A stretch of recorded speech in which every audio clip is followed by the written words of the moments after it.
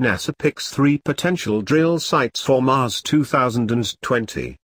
All three could have supported life in ancient Mars. When the Mars 2020 rover reaches the red planet, it will quickly begin drilling for samples from its surface. NASA hasn't picked the exact drill site yet, but it has narrowed its choices down to three during a workshop with scientists in Monrovia, California. The group consulted images and data sent by the Mars Reconnaissance Orbiter before voting for easily accessible locations they believe could have supported life. Jezero Crater, which got the most votes, was once an ancient lake comparable to Lake Tahoe. It was connected to a large river that fed it water and sediments, making it an ideal site for the rover's search for signs of life.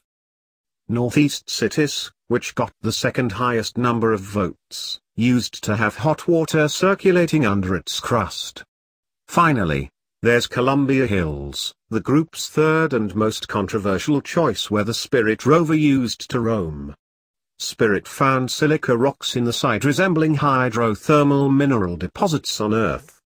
Some of the people who attended the workshop didn't think Mars 2020 would be able to shed light on whether the rocks could truly be linked to life. Mars 2020 will spend two years drilling for samples from the final site NASA picks. Whether or not those samples make it back to Earth depends on a follow-up mission, though.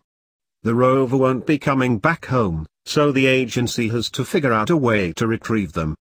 If NASA succeeds, they'll be the first Martian rocks we'll ever examine that aren't meteorites, which don't have the sample's geologic context.